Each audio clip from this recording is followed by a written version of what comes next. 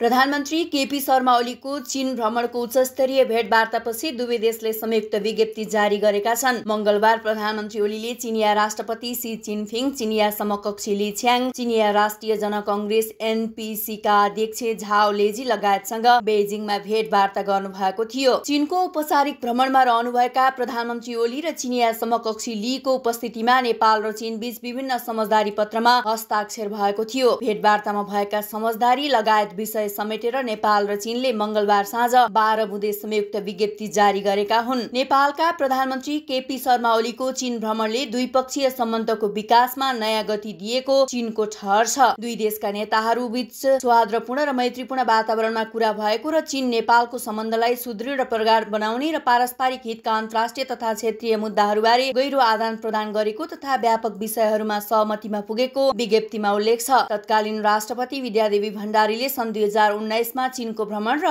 अन्य उच्च स्तरीय भ्रमणहरूले दुई देशबीचको मैत्रीपूर्ण सम्बन्धलाई थप सुदृढ बनाउन योगदान पुर्याएको दुवै पक्षको ठहर छ। चिनिया राष्ट्रपति सी चिनफिङले सन् दुई हजार उन्नाइसमा नेपालको भ्रमण गर्दा सम्बन्धलाई विकास र समृद्धिका लागि दीर्घकालीन मैत्रीपूर्ण रणनीतिका सहकार्यमा स्तरोन्नति गरिएको र यी सम्बन्धले नेपाल चीन सम्बन्धलाई नयाँ ऐतिहासिक चरणमा पुर्याएको दुवै पक्षको ठहर छ। हालैका वर्षहरूमा दुवै देशका नेताहरूको रणनीतिक र दूरदर्शी मार्ग निर्देशनमा व्यावहारिक सहकार्य कार्यका क्षेत्रमा उल्लेखनीय उपलब्धिहरू हासिल भएका र तिनले दुवै देशका जनतालाई प्रत्यक्ष लाभ पुर्याएको विज्ञप्तिमा उल्लेख छ। सन् दुई हजार पच्चिसमा चीन नेपाल कूटनीतिक सम्बन्ध स्थापनाको सत्तरीौँ वार्षिक उत्सवलाई विशेष र सम्झना लायक बनाउन दुवै पक्ष बीच गहन छलफल भएको छ। दुवै पक्षले यस अवसरलाई उपयोग गरी नेताहरूले प्राप्त गरेको महत्वपूर्ण साझा समझदारीलाई कार्यान्वयनको गतिमा अझ तीव्रता दिने उच्च स्तरीय आदान प्रदान कायम गर्ने राजनीतिक आपसी विश्वास बलियो बनाउने र विविध क्षेत्रहरूमा आपसी लाभदायक सहकार्यलाई गहिरो बनाउने र विस्तार गर्ने सहमति जनाएका छन्। दुवै पक्षले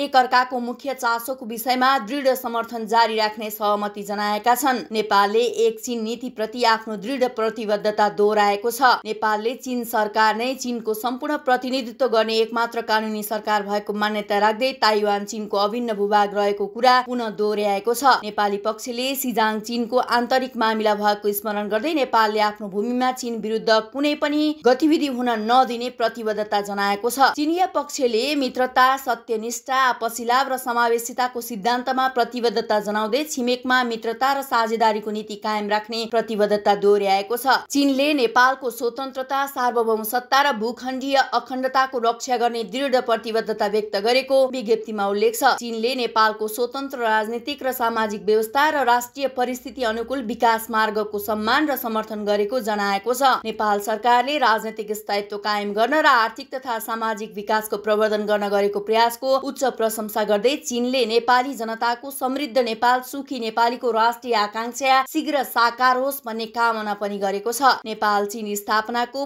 पचहत्तरौं वार्षिक उत्सवका लागि चिनिया पक्षलाई हार्दिक बधाई दिँदै नयाँ युगमा चीनले प्राप्त गरेको उल्लेखनीय उपलब्धिहरूको नेपालले उच्च प्रशंसा गरेको छ। चीनले समाजवादी आधुनिक राष्ट्र निर्माण गर्ने र चिनिया शैलीको आधुनिकताबाट राष्ट्रिय पुनरुत्थान प्राप्त गर्ने प्रयासलाई नेपाली पक्षले समर्थन जनाएको छ। दुवै पक्ष संयुक्त रूपमा सञ्चालित कार्यक्रमहरू परियोजनाहरू र गतिविधिहरूको समापनका साथै हस्ताक्षर गरिएका सम्झौताहरू सहमति भएका र गरिएका निर्णयहरूको समयमै र द्रुत कार्यान्वयन सुनिश्चित गर्न सहमत भएका छन्। दुवै पक्षले आफ्ना विकास रणनीतिहरूको तालमेललाई बलियो बनाउन र अझ गहिरो र अझ ठोस उच्च गुणस्तरको बेल्ट एन्ड रोड सहयोगलाई पछ्याउन सहमत भएका विज्ञप्तिमा उल्लेख छ। दुवै पक्षले सरकार राजनैतिक दल व्यवस्थापिका र सबै तहमा निकट द्विपक्षीय संलग्नता जारी राख्ने शासन सम्बन्धी अनुभव आदान प्रदान गर्ने र सहकार्य सुदृढ गर्ने प्रतिबद्धता जनाएका छन्। दुवै पक्षले विकास रणनीतिहरूलाई सुमधुर बनाउन र उच्च गुणस्तरको बिआरआई सहकार्यलाई अझ गहिरो र ठोस बनाउन सहमति जनाएका छन्। दुवै पक्षले ट्रान्स हिमालय बहुआयामिक कनेक्टिभिटी नेटवर्क निर्माण र दुई सरकार बीच बेल्ट एन्ड रोड सहकार्यको फ्रेमवर्क निर्माण गर्ने विषयमा जति सक्दो चाँडो एमओयुमा हस्ताक्षर गर्न तयार रहेको जनाएका छन्। दुवै पक्षले नेपाललाई भू परिवेष्टित मुलुकबाट भूजडित मुलुकमा रूपान्तरण गर्नका लागि बन्दरगाह सडक रेलमार्ग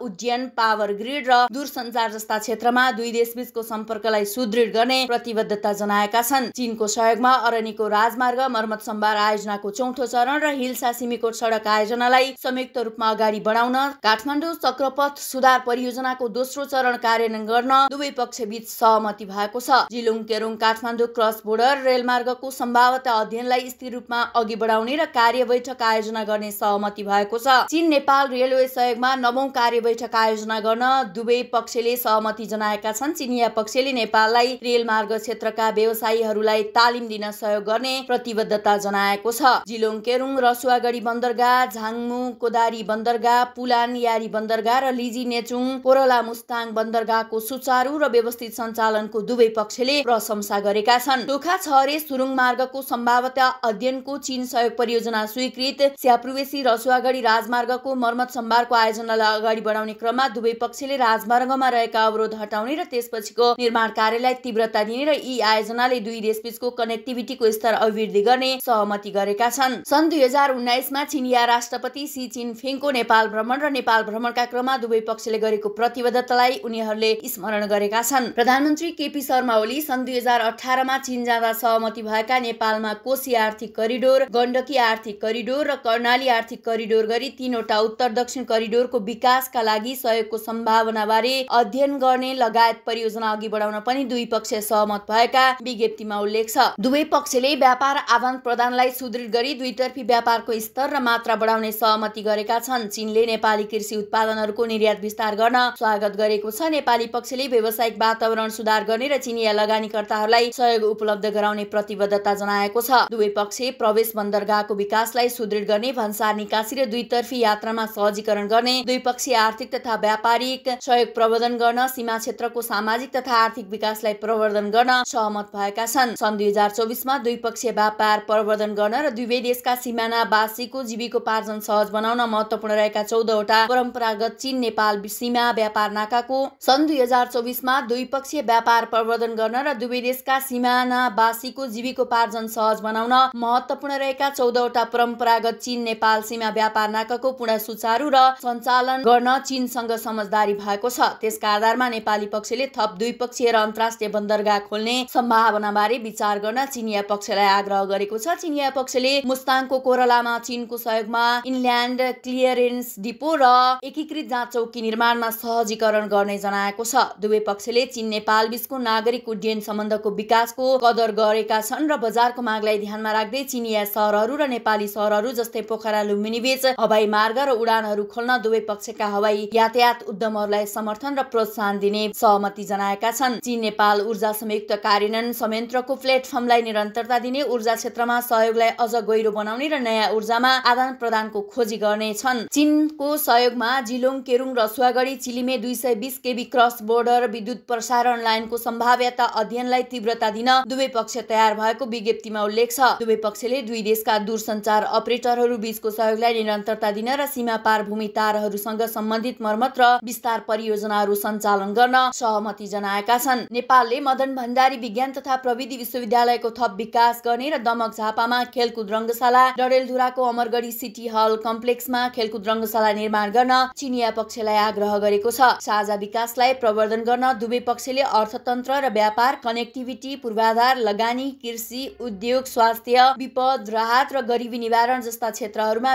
सहयोगलाई अझ गहिरो बनाउने सहमति गरेका छन्। दुवै पक्षले व्यापार प्रवर्धन सहयोग सम्बन्धी समझदारी पत्रमा हस्ताक्षर गरेकोमा स्वागत गरेका छन्। दुई पक्षीय व्यापारको स्तर र स्तरलाई उचाल्न व्यापार आदान प्रदानलाई थप सुदृढ पार्ने उनीहरूको विश्वास छ। चिनिया पक्षले बजार र व्यापारिक सिद्धान्तका आधारमा नेपालमा लगानी र व्यापार गर्न चिनिया उद्यमहरूलाई आफ्नो समर्थन दोहोऱ्याएको छ। नेपालले व्यापार वातावरण सुधार गर्न र चिनिया उद्यमहरूलाई नेपालमा लगानी गर्न सहयोग गर्ने प्रतिबद्धता जनाएको छ। दुवै पक्ष चीन नेपाल मैत्री औद्योगिक पार्कको आयोजना विकास सम्झौतामा जति सक्दो चाँडो हस्ताक्षर गरी औद्योगिक पार्क निर्माण र सञ्चालनको प्रारम्भिक कार्यलाई प्रवर्धन गर्न सहमत भएका छन्। नेपाललाई अति कम विकसित देश मध्येको एक भएकाले शत प्रतिशत भन्सार सीमामा शून्य महसुल उपचार दिएकोमा नेपाली पक्षले चीनको प्रशंसा गरेको छ। चीनले नेपाललाई उच्च गुणस्तरका कृषि उत्पादनहरू जस्तै नेपाली घाँस बिरुवाबाट उत्पादन हुने औषधीय सामग्री र चियाटो चीनको निर्यातलाई थप विस्तार गर्न स्वागत गरेको छ। दुई देश कृषि पशुपालन र मत्स्यपालनमा सहयोगलाई अझ प्रगाढ बनाउन दुवै पक्ष सहमत भएका विज्ञप्तिमा उल्लेख छ। दुवै पक्ष